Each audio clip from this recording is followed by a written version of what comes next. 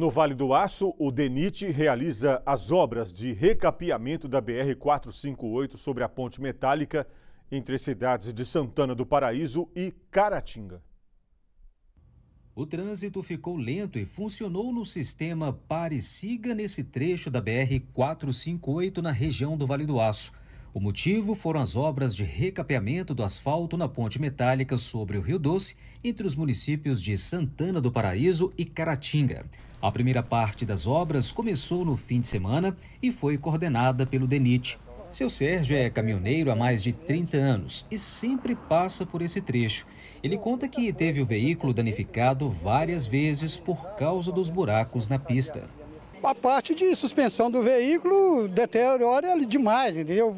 Muito, acaba muito, entendeu? Parte de, de suspensão do veículo.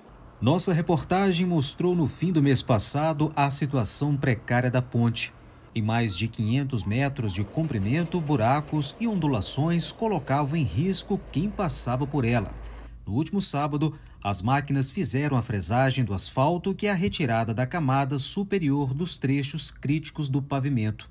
As obras de pavimentação aqui na BR-458, na ponte metálica sobre o Rio Doce, entre os municípios de Santana do Paraíso e Caratinga, foram realizadas no fim de semana. E, segundo o DENIT, outras melhorias serão realizadas ao longo da rodovia.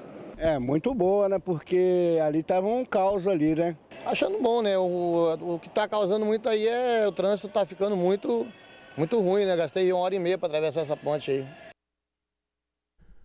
Em nota, o DENIT informou que no próximo sábado, dia 15, um novo pavimento será aplicado na ponte, concluindo o serviço. Segundo o órgão, haverá a necessidade de interferências nos fluxos de veículos durante todo o dia. Esta semana, o tráfego segue normal na altura da ponte metálica na BR-458.